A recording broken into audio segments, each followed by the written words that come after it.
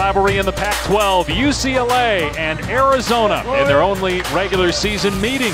McKale Center in Tucson is packed. The Zona Zoo is wild tonight with first place at stake for the Wildcats. you almost did it again. calling him Cameron Dollar, throw a bucket of ice water on me. There's, yeah, I will. Steve Alford, fifth season at UCLA, and keep in mind there was no love lost here. between. It was 85 degrees here today.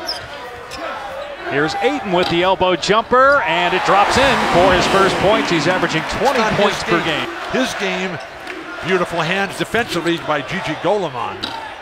Pinder gets the bounce. And, they both look, kind of looked at each other and said, "We got to get out of here." I don't know that I believe that. Ayton tips in, and what a great play by Deion. Rivals in the Conference of Champions. Alkins up top, can't look get the three. Ayton there with the slam. Everybody else is standing how good there. you are, it's how good your teammates are, and I played with the best. Ayton Thomas Welsh, great defense. Got his own miss What and gets it to go. And that is why part of basketball. You miss time a jump. Oh, Ayton got that. revenge, sent it back that time. So George Santayana, who said that, he, you know what he also said? That only the dead have seen the end of war.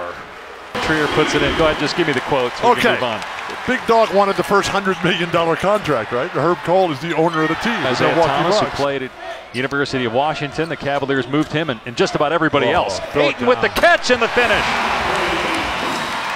Were you surprised everybody. I mean- traded guys that played with Robinson, like Avery Johnson, who's the head coach at Alabama, Kevin Ollie from uh, Connecticut. He played against Robinson. He made that comparison as well. Ayton, 17.6 assists, hasn't turned the ball over.